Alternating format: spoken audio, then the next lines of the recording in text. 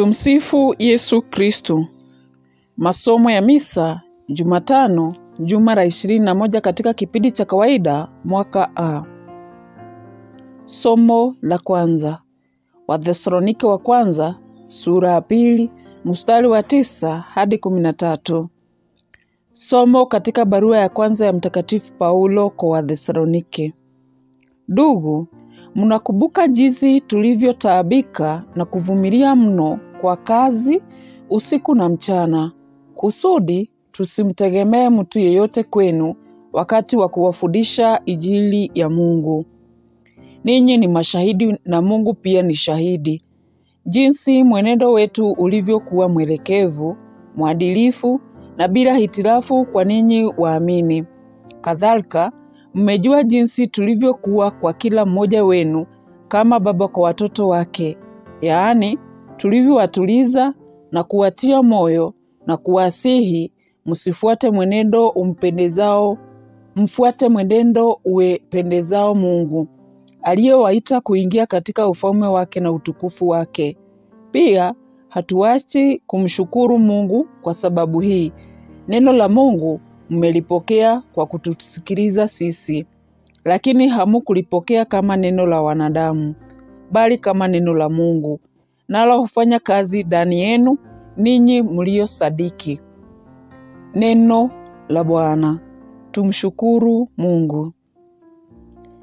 Zaburi ya kuitikizana. Zaburi sura ya mia moja thelathini na tisa mstari wa saba hadi kumi, kumi na moja hadi kumi na mbili anaba.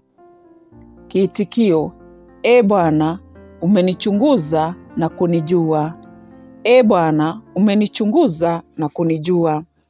Niende wapi bali na roho yako?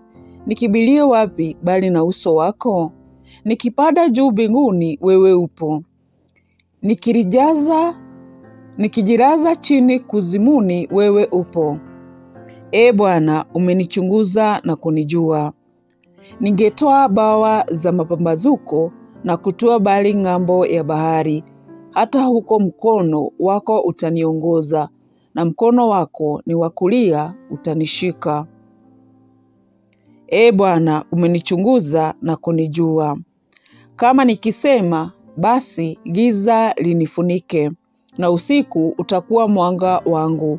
Hata giza halitakuwa giza kwako, bali usiku utang'ala kama mchana.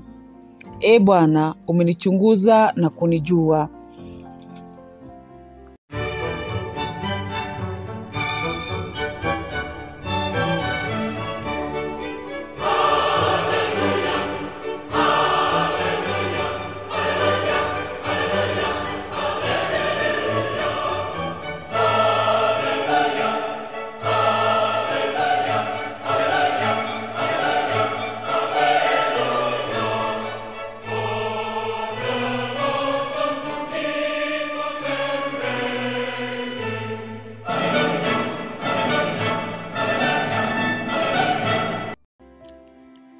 Alishikaye neno la Kristo, huyo ana upendo kamili wa Mungu.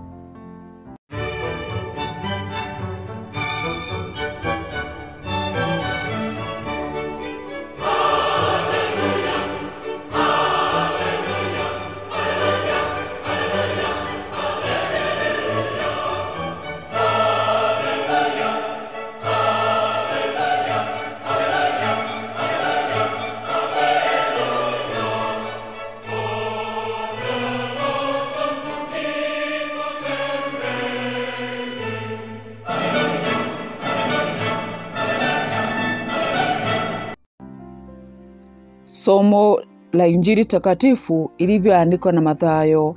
Utukufu kwako e Bwana. Mathayo sura 23 mstari wa 27 hadi 32.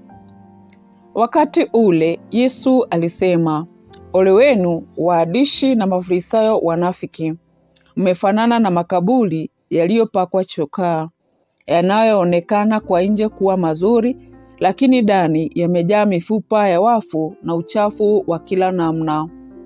Vivyo hivyo, ninyi mwaonekana kwa nje kuwa waadilifu, lakini mmejaa unafiki na uhalifu.